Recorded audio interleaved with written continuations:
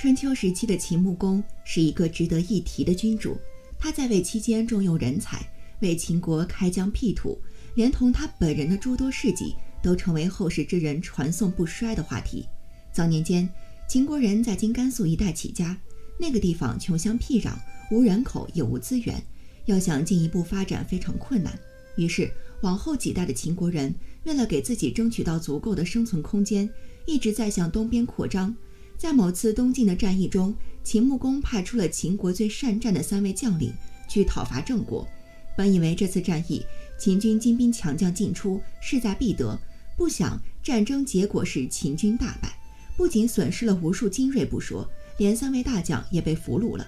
按照一般君主的做法，完全可以借着其被俘虏之名，把战败之责全部推到那三位将领身上。可是秦穆公没有这么做。在三位将领垂头丧气回到秦国之时，他们本已做好接受惩处的准备，不想秦穆公却亲自走到郊外去迎接他们，并且向他们说：“我正是因为没有听从百里奚简书的百般劝阻，才让你们受到这样的侮辱。你们没有罪，希望今后再接再厉，奋发图强，将来一雪前耻。千万不要因为这次失败有了懈怠之心。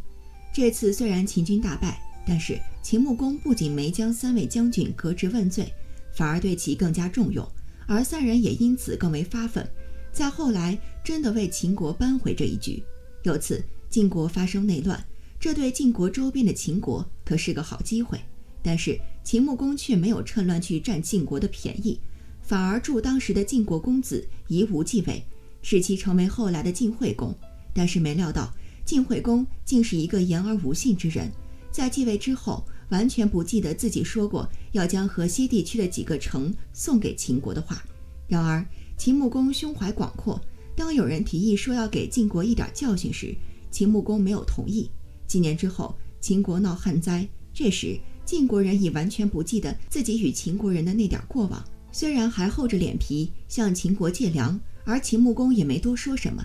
想着秦晋两国乃是邻居。低头不见抬头见，没必要计较这么多，于是很痛快的就借了。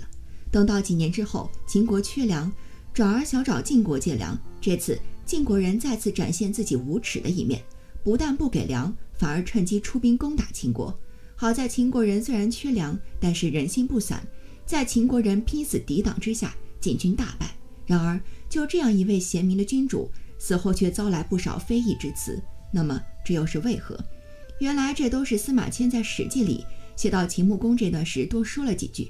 说秦穆公死时埋葬他的人找了许多活人为其殉葬，其中就有几个是秦国的良臣，而这就让秦穆公的完美履历留下一点黑影。但是我们都知道，历史都有一定的局限，在秦穆公生活的那个时代，让活人为死人殉葬是一件不算特别罕见的事，况且这也不一定是秦穆公生前的要求。